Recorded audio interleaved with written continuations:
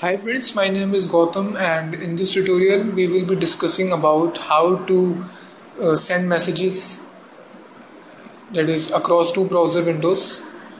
That is, let me show you what I mean.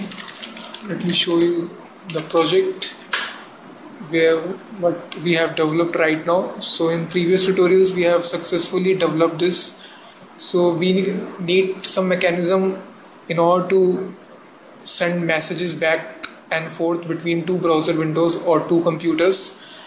So in this tutorial I will be developing this mechanism. So let me type a username and a message.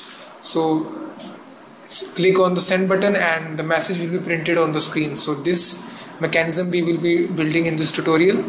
So for that we need some code on the client side and all the and also on the server side. So first of all i will be writing code on the uh, client side that is chat.js file. So first of all I will like to manipulate the DOM that is document object model. For that I will be needing the IDs that is for various elements that is output feedback handle message and send.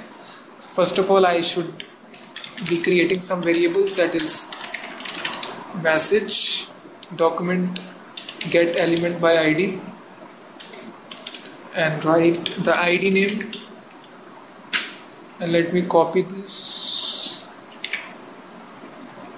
four more times and change the value to handle.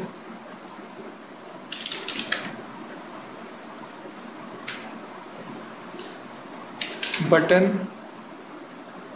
This is id has send this is output this is also output. And lastly we have feedback. Feedback. So we have grabbed all the IDs into respective variables message handle button output and feedback.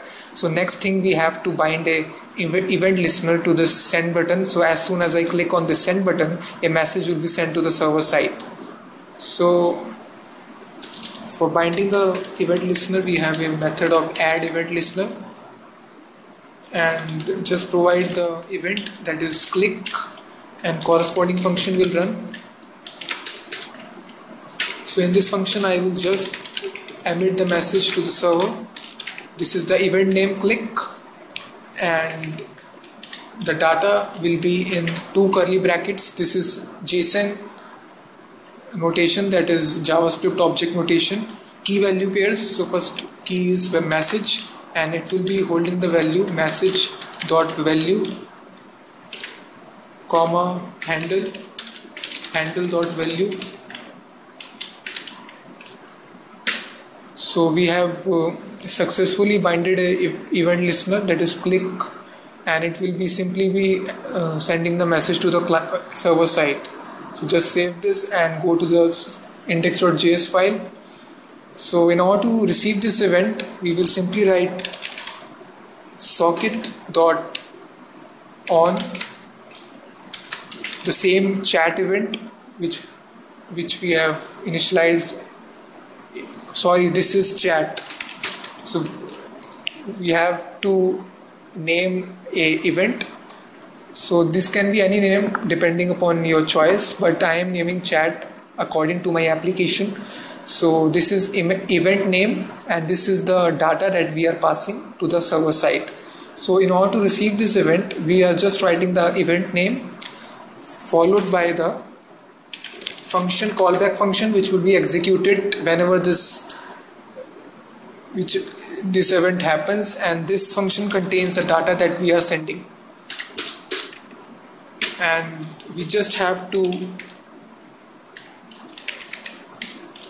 emit this data to all the clients that are connected to this server.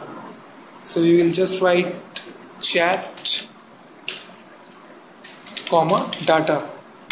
So this is very simple lo- logic that is if anyone send data to, the, to this server so just wait for this event to happen so if this event happens then run this callback function which contains the data that we are sending and the server will simply emit this event to all the clients that are connected to our server with the following data that we are sending that is message and the handle value.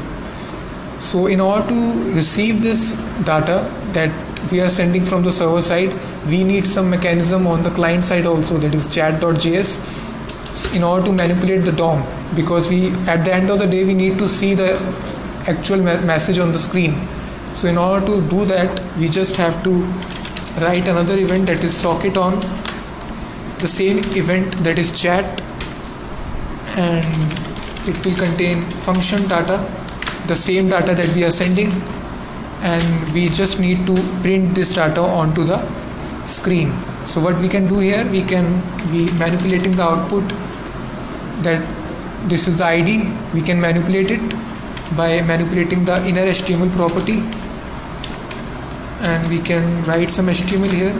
P strong. Just concatenating with the data value data dot handle. So handle property we have sent. So it is retrieved through this data dot handle. Plus we need to close the strong tag plus data dot message. And uh, again plus we need to close the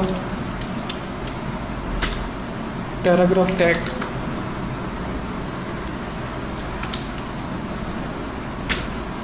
So this completes our code on both the server side and the client side. So let me save this and execute the application for you so just open two separate windows and just refresh it. So let me type a username and a corresponding message. Gautam. And the message is hello my name is Gautam. And click the send button.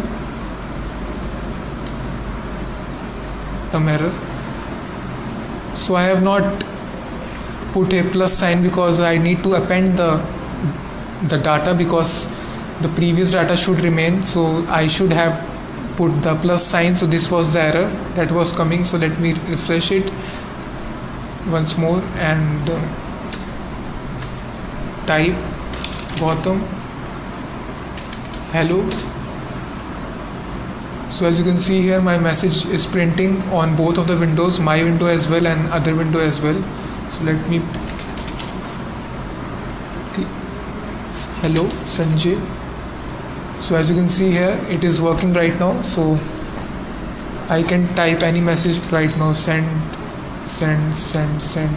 So this can be two browser windows. This can be two computers across the world too. so we have successfully created our chat application. So one feature is missing from this. That is if I type the message. At the same time I want a separate message should be visible to all the content inside the chat window. That is Gautam is typing a message. So that functionality I want in my, in my chat application. So that I will make in the next tutorial. Thank you guys for watching this tutorial. So I will see you in the next tutorial. Thank you very much